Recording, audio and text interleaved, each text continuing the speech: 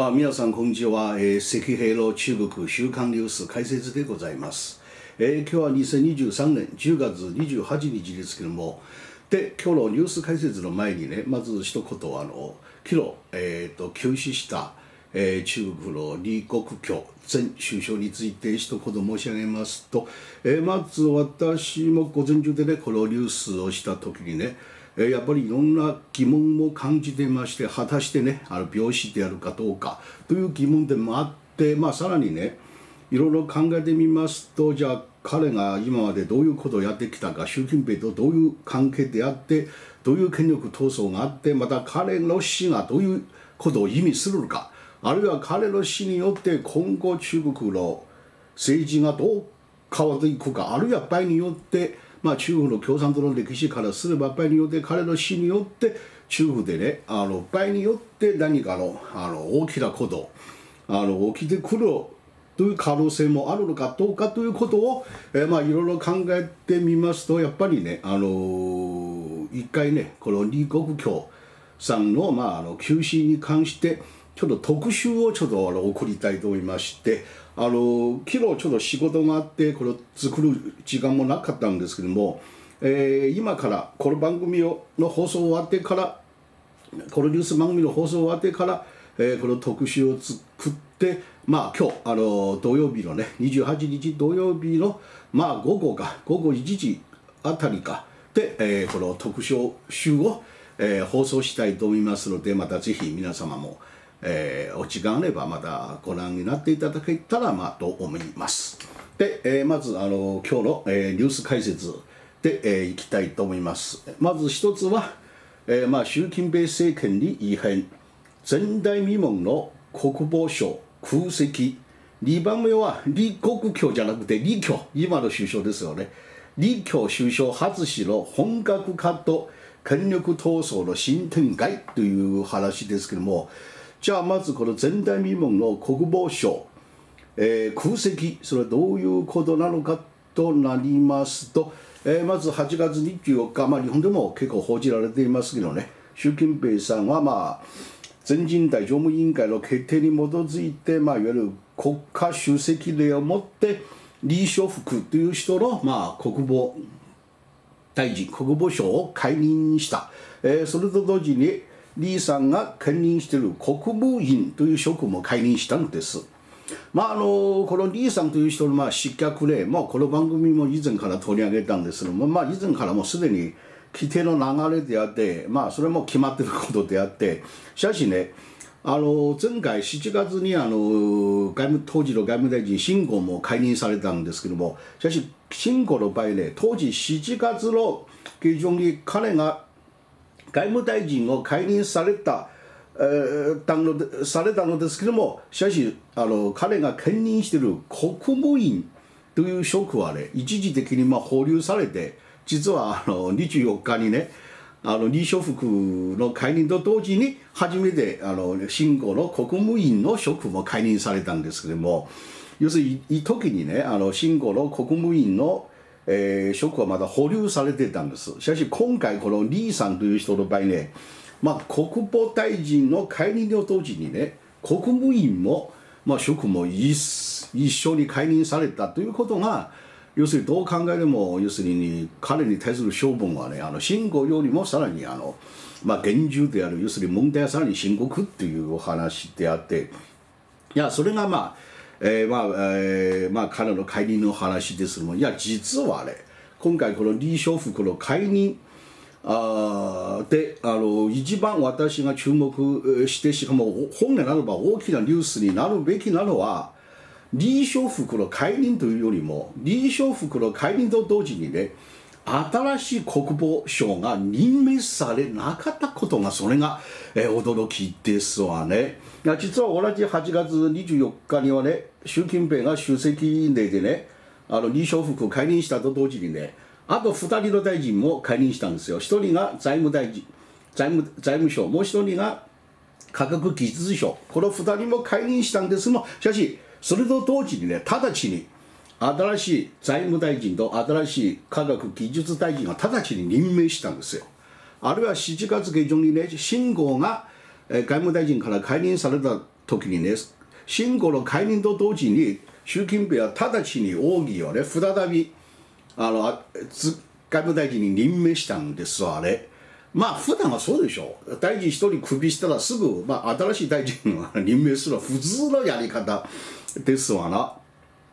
しかし今回があんまりにも入れることで李承福が解任されたと同時にね新しい国防省をあの任命しなかったというのはあまりにもあの入れることでさらに問題となっているのは実はあまり知られていないです今の中国の体制の中で中国の国防省にね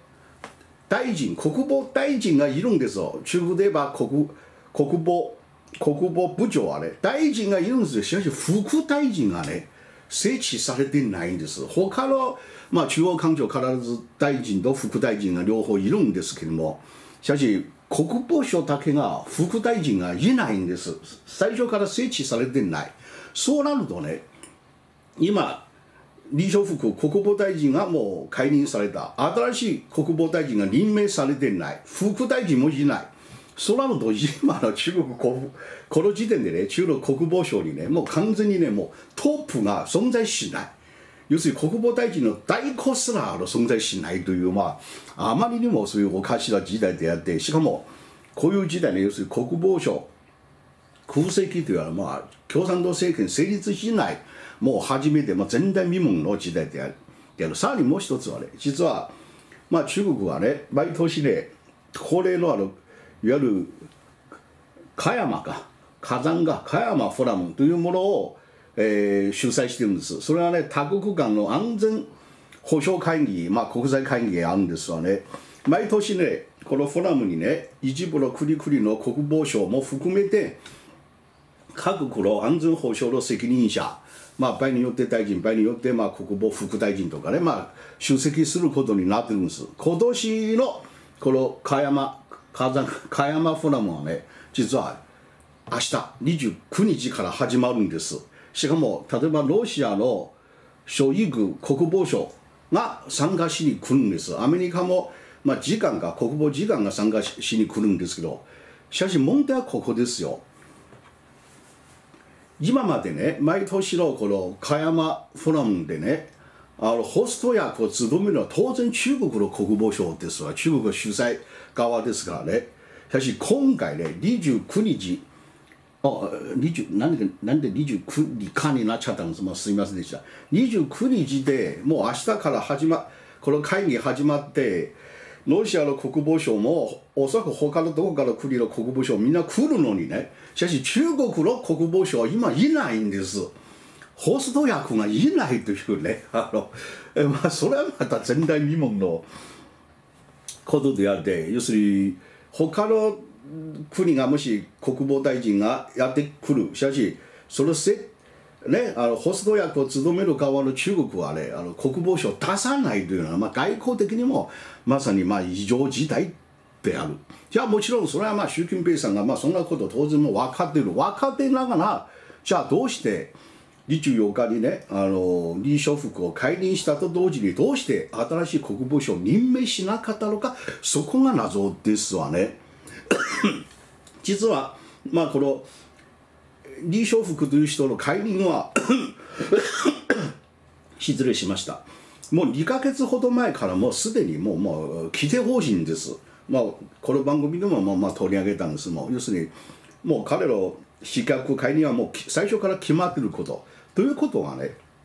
要するに習近平はね新しい国防省の人選を考える時間的な余裕が十分にあったはずですわね。もうあの2か月ヶ月前からもうあのねもうあのもうそういう決まってるんですからねじゃあしかし時間的な余裕もあったのにねどうしてねこの2ヶ月間ね人選をどうして選定しなかったのかそこが疑問であってそれに対してねまあここで一つ合理的解釈まあとして、え考えられるのは要するに今の中国軍の上層部にはねもう習近平が信頼する人は誰もいないということ。要するに習近平からすれば自分のに使える国防省を通して使うそういう信頼できるやつはもう今の中国軍の中に一人もいない。いないだからこそ、まあ、結局、習近平は不良のね、末にね、まあ、国防省、不在でいろんな問題が生じてくることを、把握も承知の上で、あの国防省は空席のままにしておくというね、普段ではありえないという選択肢をしたんです。もうやむを得ない、もうしょうがない。もう信頼できる人間がいないから、習近平あの性格からすれば、ね、自分の信頼できるできるやつがいなかったらもうあの国防省もいないなくてもまあ別にいいよというねそういう彼のそういうやりやり方ですわね。しかしもしそうであればその意味するところがすごく大きいよ。要するに習近平が一応今も今後掌握しているというふうに思われるんですよ。しかし彼は今もう軍の中でね一人二人以外にもう信頼する人誰もおらんということになれば要するにまあ彼と軍は決して一体同心の関係ではなくて要するにまあ習近平もう軍全体にね大変な不信感を抱いているあるいは逆にあの軍も全体として習近平から信頼されないということも分かるからじゃあ正直まあ軍高級の軍人たちもねもう誰も習近平も信頼してないという話になるんです。まあ、また以前のこの番組を取り上げたんですが、この中で習近平一番信頼しているのは今のあの軍事委員会副主席のあの張友強という人ですけども、やっぱりによってこの人にもあの腐敗追及の手が及んでるかもしれんかもしれないということであって、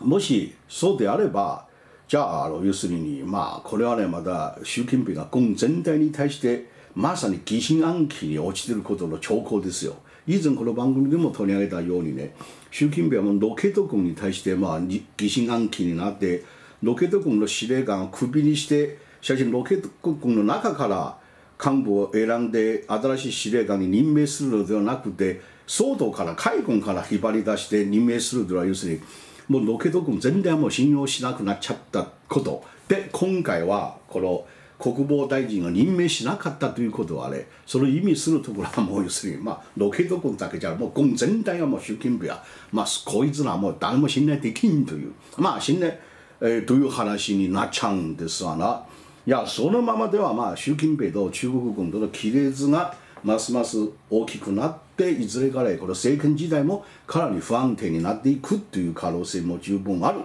というのはまず今日の一部。えー、1番目の話2番目は、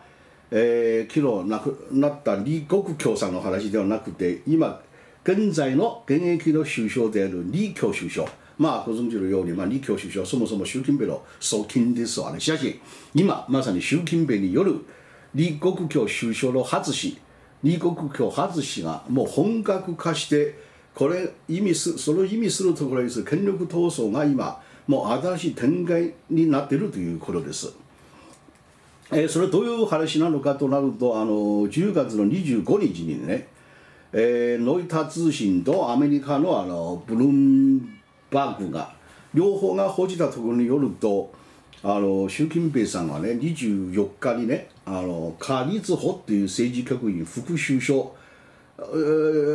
に伴われて、まあ、の追加でね中国人民銀行要するに中国の中央銀行と外貨管理局を訪問した。まあ、えー、それが事実であればまあそれはねまさに習近平さんによる初めての彼が国家主席になってからもう10年以上経ったんですが初めての人民銀行外貨管理局のまあ訪問が視察がであってしかも中国の場合で国家主席が中央銀行視察訪問しに来るあれそれもまたあの極めて入れることである。というのは中国ではまあ中央人民銀行にしても外貨管理局にしても両方とものどうもね国務院の要するに中央政府である国務院の下の所属機関であってこの2つの機関の上のトップがまさに国務院総理要するに首相ですよ。したがって今までね大体人民銀行とか外貨管理局そういう部門がね訪問したり視察しに行ったりあるいは現場指導しに行ったりするのは、まあ、当然あの首相の権限内の仕事であって例えばあの昨日亡くなった李克首相で彼が首相の時代が大体彼が自民銀行をまあ行って訪問、えー、するんですわね。えー、ちなみに、えー、これはロイタ通信が報じたね。中国の習近平主席人民銀行初訪問。目的不明。関係者関係筋という。あるいはあの、えー、これはブルームバーグだよね。あのいやいやなんで黒くなるわの？ブルームバーグはあの中国の習近習主席が異例の人民銀訪問。まあ経済中止の、まあ、重視の兆しかというまあいろんな話があるんですけども。とにかく異例な訪問ですわね。あるいはまあ李克強さん、まあ、昨日亡くなった李克強さんは彼はこれはいつの話？これはお今年の1月31日ですよ。30日ですよ。彼は、えー、その時彼はまだ首相だったんですね。まさに人民銀行外貨管理局この2つまさにこの2つの部門を、えー、今年視察してしかもあの座談会を開いて、まあ、指示を出したということであってあるいはこれ2020 2016年の話ね。それはまた李国極李克強さんはあの、えー、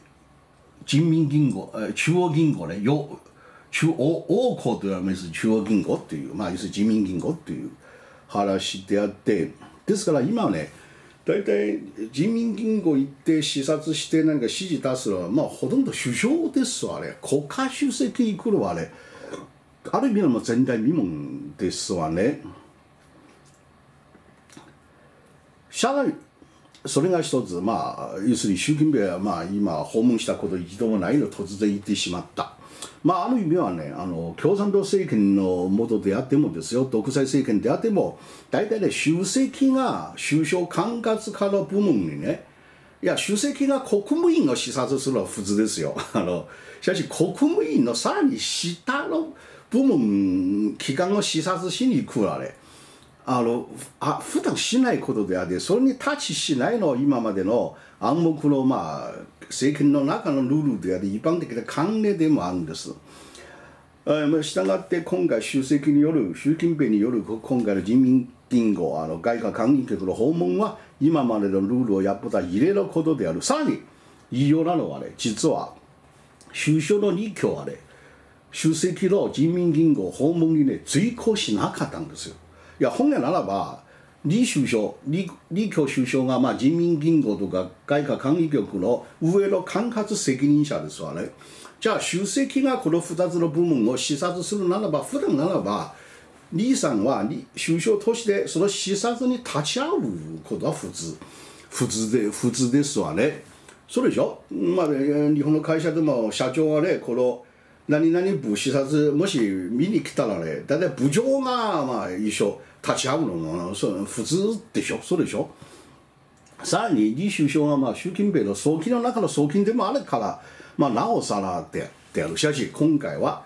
李強がその場にはいなかったんですよ。じゃあ彼の活動の日程を調べてるといや実はまさに習近平が、えー、人民銀行行ったその日。ただし習近平が午前午午前中いたか午後いたかそれがわからない。しかし李強が、えー、調べたらねあの彼が24日の午後にはね外国の訪問のために、ね、北京から出発したことは、まあ、人民日報が報じてるんです。ということが逆に言えば要するにね考えてみれば要するに習近平はね別にね24日にね人民銀行行かなければならないという緊急性も何もないからむしろ逆に習近平はわざと李強が北京から離れるこの日を選んで、まあ、李強首相の、まあ、本来ならば彼の縄張りであるはずの人民銀行外貨関係局を訪問しに行ったということが、まあ、露骨な要するに李首相外しですよ。要するにお前がいらんよ。あの俺が俺が一人で行くよ。俺が行く見に行くよっていうね。しかもさらに奇妙なことにね今回ねあの習近平によるこの人民銀行外貨管理局のこの訪問はねあの外外国のメディア、ね、ロイター通信とかブルームバーグとか報じたんですけどもしかし人民日報新華通信社中央テレビ局は一切報じてない。それ異例のことですよ。習近平の大体ね公の活動でもう一面で大きく報じす報じるのは普通ですわな。で人民日報も報じてないからだから今回の訪問視察の具体的な内容もよくわからない。まあおそらく習習近平が行くんですから当然ねあの人民銀行と外貨管理局の責任者からまず現状報告を聞くでしょ。えそれで聞いてから何か指示を出すまあ習近平の普通のやり方ですわな。あの北朝鮮のあのキキムキムキム・ジョンと同じですわ。現場行ったら必ず指示を出すんですわな。しかしもしねじゃあ習近平はね李強首相が不在のこの場面でね現場の責任者から報告を聞きながらさらにねあの李李強首相の権限を永見するような形でね何かの指示を出す出したであればその意味するところが要するにまあ人民銀行にしても外貨管理局にしても、まあ、中国経済の中枢部門だ特に人民銀行はね、まあ、心臓部門ですよ。中国経済はね。それ人民銀行の金融の運営に関してはもう習近平はもう送金の利強をもはや信頼しなくなってる要するにお前に任してはもう任せられないなれない俺が自ら見に行って指示を出さなければならない。ということが、まあ、今でも常に取り沙汰されてるのはいずれが中国でこのまま金融危機が起きてくるかもしれないやっぱりここ来たら習近平が李強あいつがもう金融危機の対応はもう無理だから俺が行って現場指示あの指導しなければならないと思ったのかもしれません。まあいずれにしてもあのこの行動あれどう考えても要するにあの露骨なあの李強えー、外しですよね。さらに前回の番組でも、前回じゃなくて前々回の番組でも伝えたようにね、あの10月9日にね、中国の労働組合、全国代表大会が北京で開幕した時にね、習近平以下6名の政治局長、政治局常務員が揃って出席して、まあ、例の再起が、まあ、途中を代表してスピーチもしたんけど、しかし、政治局常務委員会、まあ、今7人の委員ね要するに最高指導部のメンバーの中で唯一欠席したのは李強ですよ。あのね、それはあの全く理解できない。そうでしょ？最高指導部の6名ね？もし4名、えー、出席して3名が欠席ならばまあそれは別にね大した問題も6名も揃って出席したのに李強だけが あの入れないというのがねまあそれがやっぱりえー、習近平の人民銀行視察李強外した形の人民銀行視察の連結に考えてみればいやそれは両方とも偶然の話じゃないんですよ。要するに李強外しがもう始まってるんです。それが一つ。さらにねもう一つ注目すべきなのは習近平主席のこの2つの部門中央銀行とあの外貨管理局の訪問にねそれに追行したのはさっきも話したあの下立法政治局員副首相であること。いや実はこの母さんという人はあれ彼はあれもう習近平が福建省で勤務した時代要するに福建省のトップの時代の古株部下の一人ですよ。習近平はまず福建省で勤務してそれであの福建省の一番トップになってな福建省のトップを務めてから成功省行ってトップを務めてさらに上海でトップを務めてということですけどもしかしあのこの母さんはね習近平が福建省あの勤務時代の部下ですからもう古株ですわな。まあそれで習近平がトップになってからこの母さんも中央に抜擢して、えー、抜擢されて、まあ、大修正した、まあ、まさに習近平の側近の一人さらに前回のこの番組でね取り上げたあの宦官政治のあの再起というやつもあの彼ねもう母さんと同じようにねやっぱりね福建習近平の福建勤務時代からの古株部下ですよ。この2人とも。福建時代のまあ部下ですわな。つまりね、まあ、中国国内でもよくそういう言い方あるんですよ。要するに再再起とこの母さんね両方ともね要するに習近平の送金集団の中の福建組ですわな。あるいは福建グループとも言うべきです。まあそれに対して首相の李強あるいはまあ今の非道副首相の定説書が彼たちはもう習近平が福建省の勤務終わって成功省行ってからあるいはさらに上海行ってからの時代の部下であって要するに習近平の公文になったらあれ再起とかの仮図法とか不健組よりが遅いんです。わな再起たちは先になったんです。まあ日本で言えばまああんまり適切な例えじゃないかもしれません。要するに不大大名と戸様大名の多少のそういうそういう似てるんですよ。そういう違いがあるんですわなしたがってじゃあ今回李強が外されながらそれに伴ってこの仮図法が目立つようになったということはねひょっとしたらそれはね習近平の一番の側近となってるまさに宦官の、まあ、再起福建組の再起による政治工作の結果である可能性も十分。要するに再起はね再起が福建組でしょ？あの李強がまあ後になって浙江省時代の習近平の浙江省時代の部下ですから再起からすれば俺の方が上先輩ですわな公文都市で先輩です。だから福建組がやっぱり浙江省出身のまあ李強なんとか排除したい。再起はねそこで自分と同じように福建省から来た仮立法を推したいというような話であってじゃあこのままではね場合によって少なくとも経済運営に関する李強首相の実験はね、まあ、場合によってではねほぼ確実にね、まあ、習近平と仮立法内にあの奪われるんです。まあ、習近平は経済全体何もわからないから、おそらく習近平が経済問題に関して李強の話ではなくて、仮立法のあの話を聞いて指示を出すという形で、要するにまあ李強が失脚しなくても、おそらく失脚しないよ、もう習近平の側近の中の側近ですからね、失脚しなくても、もう徹底的に放されてしまうということになっちゃうんです。まあ結局のところ、まあ、要するに宦官再起はまあ同じ習近平のあの側近集団の中の浙江組とかある上海組を追い出して自分たちねあの福建組がまあ権力の中枢を固める。自分たちこそ、まあ、習近平の一番の親衛隊というね習近平政権の中枢にいるというね。まあそういう混乱であってそうなるとこれからねまさに習近平集団の中で送金集団の中で福建組とか成功組との間のそういう権力闘争がその集団の中で送金集団の中で起きてしまう。まあそれではね、まあ、習近平政権の内部の分裂を招く可能性も十分あるのではないかということ。まあ今日はまあこの2つともまあ人事の話一つが新しい国国防省解任されると同時に新しい国防省習近平任命し